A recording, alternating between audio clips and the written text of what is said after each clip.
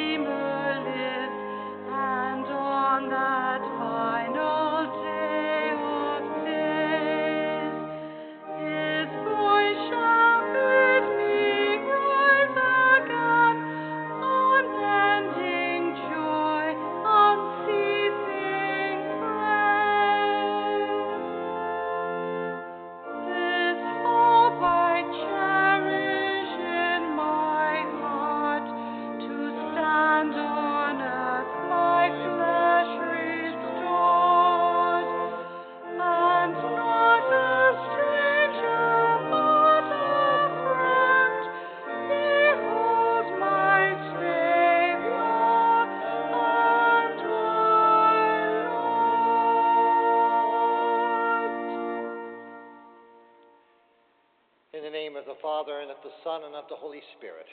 Amen. The grace of our Lord Jesus Christ, the love of God, and the communion of the Holy Spirit be with you all. And with your spirit. Good morning, everybody. Good morning.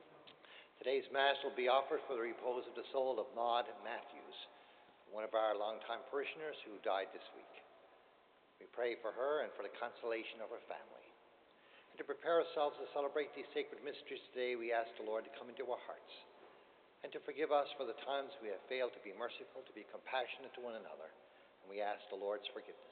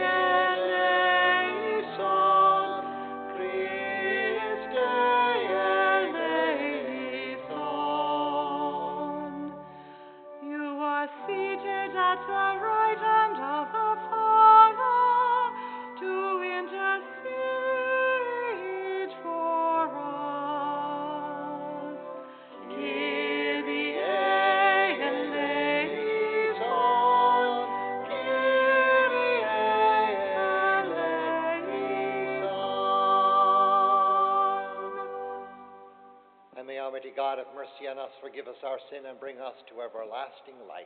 Amen. Let us pray. Grant, we pray, Almighty God, that we who have celebrated the Paschal festivities may be your gift, may by your gift hold fast to them in the way that we live our lives. Through our Lord Jesus Christ, your Son, who lives and reigns with you in the unity of the Holy Spirit, one God, forever and ever.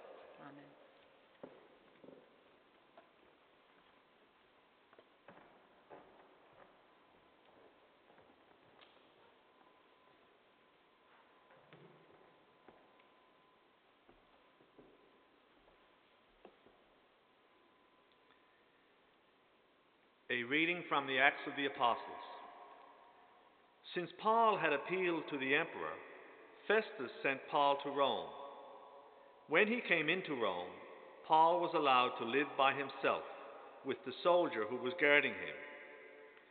Three days later, he called together the local leaders of the Jews.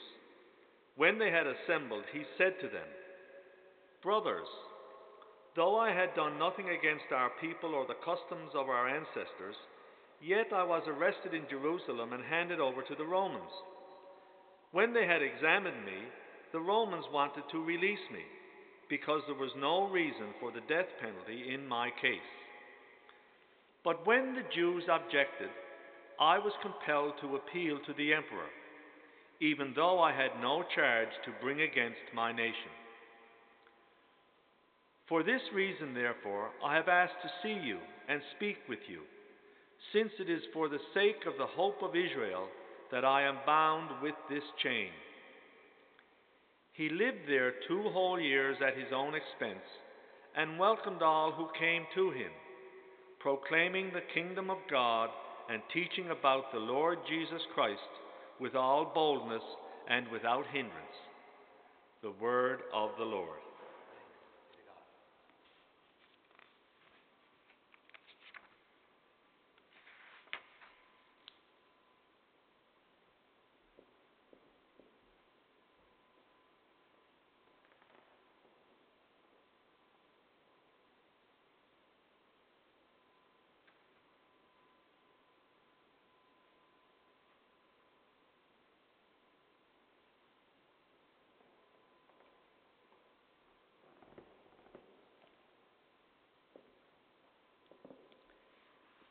The responsorial psalm is number 176 in the Catholic Book of Worship, number 176.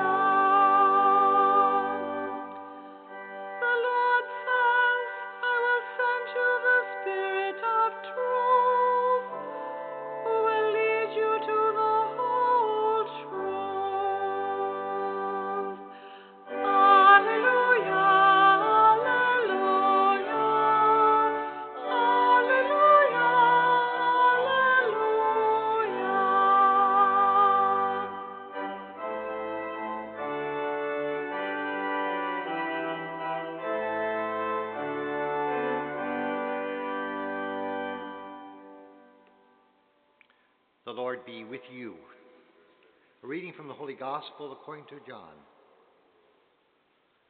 After he was raised from the dead, Jesus appeared to the disciples by the Sea of Tiberias and indicated the kind of death by which Peter would glorify God. Peter turned and saw the disciple whom Jesus loved following them. He was the one who had reclined next to Jesus at the supper and had said, Lord, who is that is going to betray you? When Peter saw him, he said to Jesus, Lord, what about him? And Jesus said to Peter, If it is my will that he remain until I come, what is it that to you? Follow me. So the rumor spread in the community that this disciple would not die, yet Jesus did not say to him that he would not die. But if it is my will that he remain until I come, what is that to you? This is the disciple who is testifying to these things and has written them, and we know that his testimony is true. But there are also many other things that Jesus did, if every one of them were written down. I suppose that the world itself could not contain the books that would be written. The Gospel of the Lord.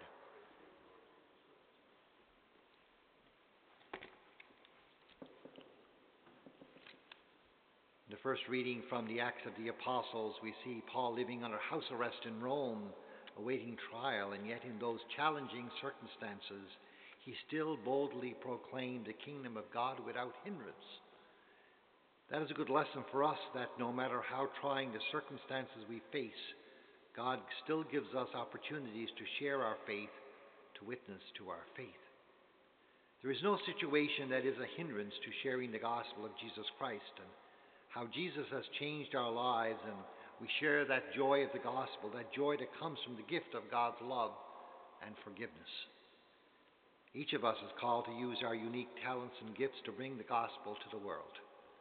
The risen Lord can work through any one of us in a way that is distinctive and unique to each of us. Peter was chosen by Christ as the chief shepherd who would lay down his life for his sheep in Rome, where St. Paul would do the same. Yet John had the role, as we know, of looking after Mary, the mother of Jesus. And he lived to write down that gospel, which we have in our reading today, and which we ended today. Because this is the end of the Easter season today, and tomorrow is Pentecost. How we witness to Jesus is distinctive to each one of us, reflecting our unique gifts, our abilities, our limitations, our personality, and our temperament. The Lord needs a rich diversity of disciples if he is to express himself fully in today's world. The Lord needs us all, regardless of our age or even our state of health. He has a role and a mission for each one of us.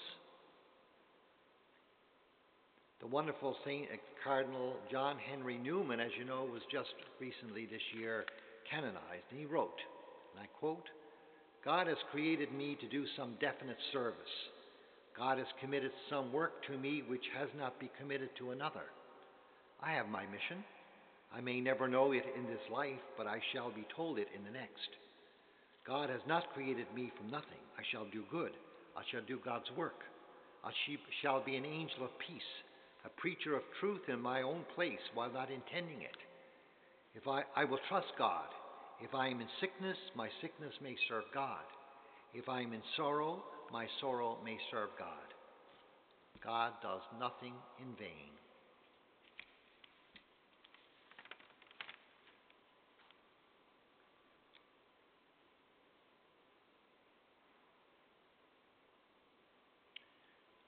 We offer up our prayers of intercession today. For Holy Father Pope Francis and Archbishop Peter and all those who lead and guide our church and shepherd our church during these difficult times, we pray to the Lord.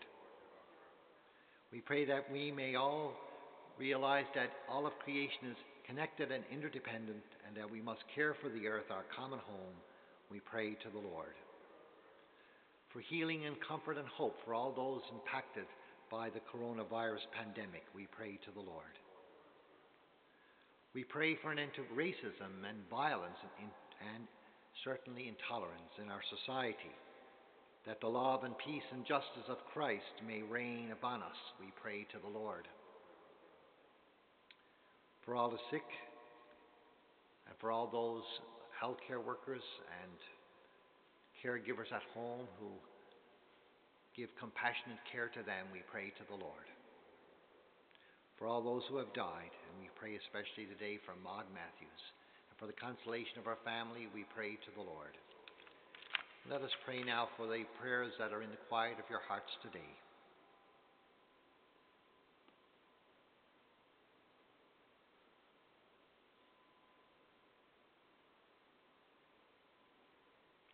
We pray to the Lord. God, our Heavenly Father, you are the source of all hope.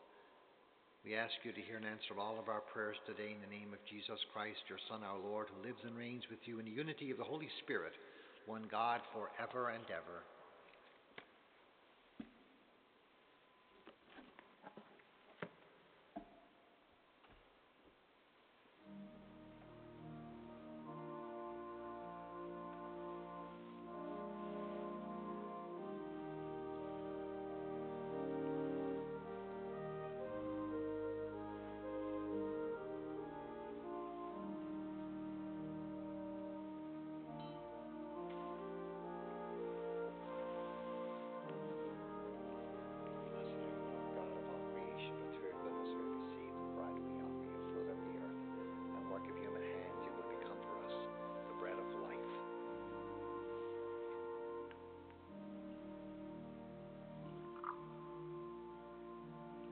Mystery of this water and wine, we come to share the divinity of Christ, offered himself to share in our humanity. Blessed are you, Lord God of all creation, for through your goodness we have received the wine we offer you, fruit of the vine and work of human hands, it will become for us our spiritual drink.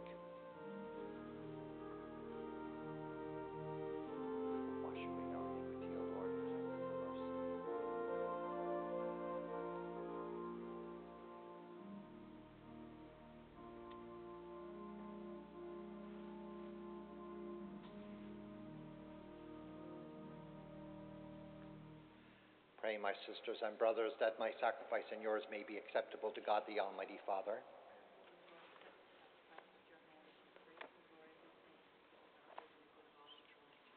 Let us pray. May the Holy Spirit coming near, we pray, O Lord, prepare our minds for the divine sacrament, since the Spirit Himself is the remission of all sins.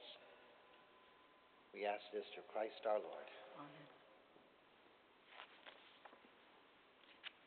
The Lord be with you. And with your spirit, Lift up your hearts. we lift them up to the Lord. Let us give thanks to the Lord our God. It is right and just. It is truly right and just our duty and our salvation, always and everywhere to give you thanks. Lord, Holy Father, Almighty and eternal God, through Christ our Lord. For after his resurrection, he plainly appeared to all his disciples and was taken up to heaven in their sight, that he might make us sharers in his divinity. Therefore, overcome with paschal joy, every land, every people exalts in your praise, and even the heavenly powers with the angelic hosts sing together the unending hymn of your glory as they acclaim.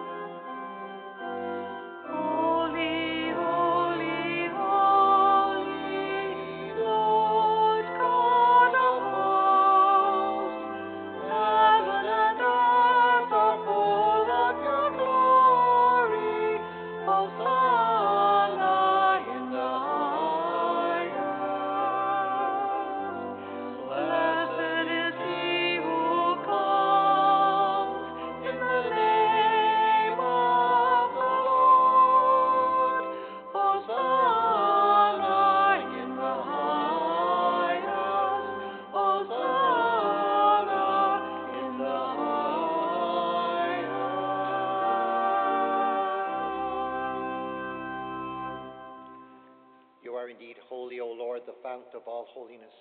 Make holy, therefore, these gifts, we pray, by sending down your Spirit upon them like the dewfall, so that they may become for us the body and blood of our Lord Jesus Christ. At the time he was betrayed and entered willingly into his passion, he took bread and giving thanks, broke it and gave it to his disciples, saying, Take this, all of you, and eat of it, for this is my body, which will be given up for you.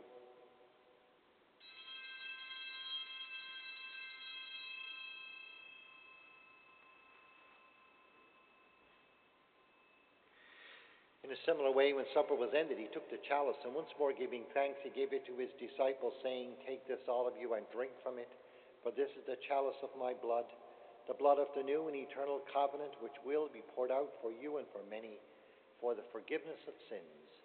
Do this in memory of me.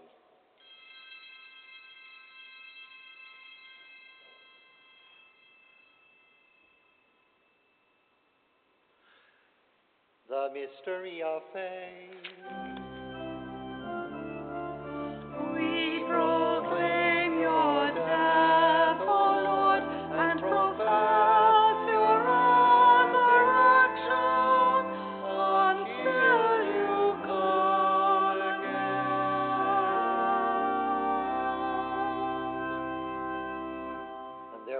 Celebrate the memorial of his death and resurrection, we offer you, Lord, the bread of life and the chalice of salvation, giving thanks that you have held us worthy to be in your presence and minister to you. Humbly we pray that partaking of the body and blood of Christ, we may be gathered into one by the Holy Spirit. Remember, Lord, your church spread throughout the world and bring her to the fullness of charity, together with Francis our Pope and Peter our Bishop, the clergy, and all your people. Remember all of our brothers and sisters who have fallen asleep in the hope of the resurrection, and all who have died in your mercy. Welcome them into the light of your face. Have mercy on us all, we pray, that with the Blessed Virgin Mary, Mother of God, with Blessed Joseph, her spouse, with the blessed apostles, St. John the Baptist, and all the saints who have pleased you throughout the ages, we may merit to be co heirs to eternal life and may praise and glorify you through your Son, Jesus Christ. Through him and with him and in him, O God, Almighty Father, in the unity of the Holy Spirit, all glory and honor is yours forever and ever.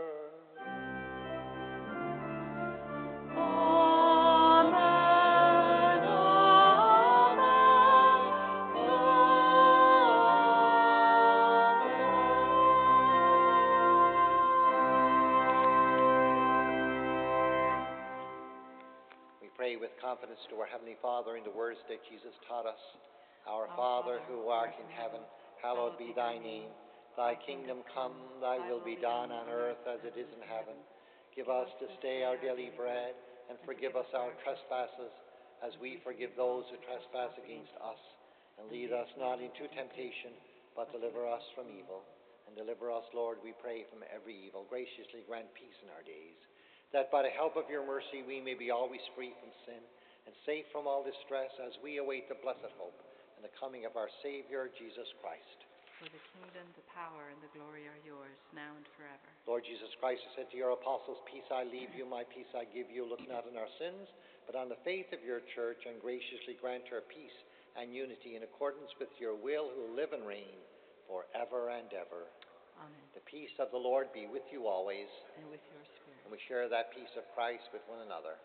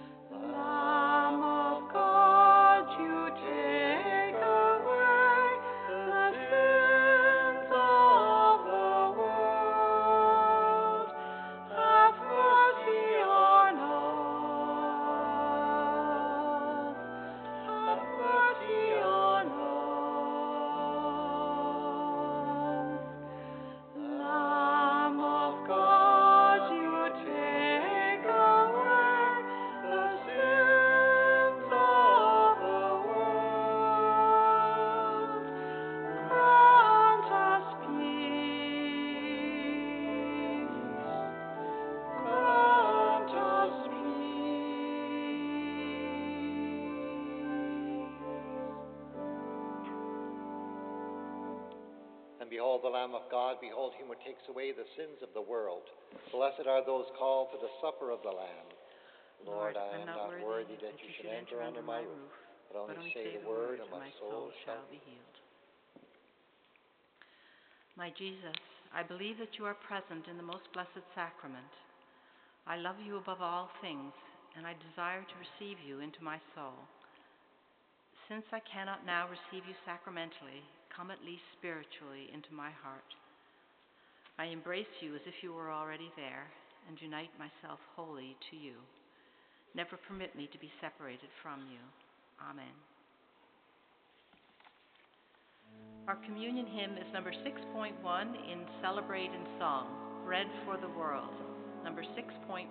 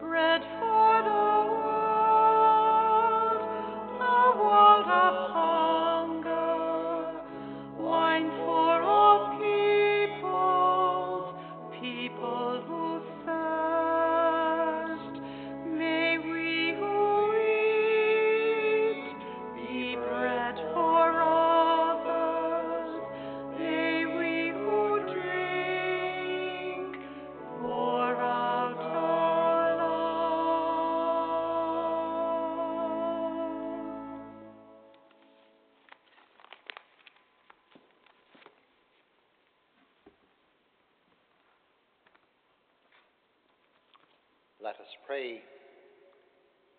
Herein your compassion, our prayers, O Lord, that as we have been brought from things of the past to new mysteries, so with former ways left behind, we may be made new in holiness of mind through Christ our Lord. Amen. A prayer of Pope Francis to Mary for help in protection during this pandemic. O Mary, you always shine on our paths as a sign of salvation and of hope.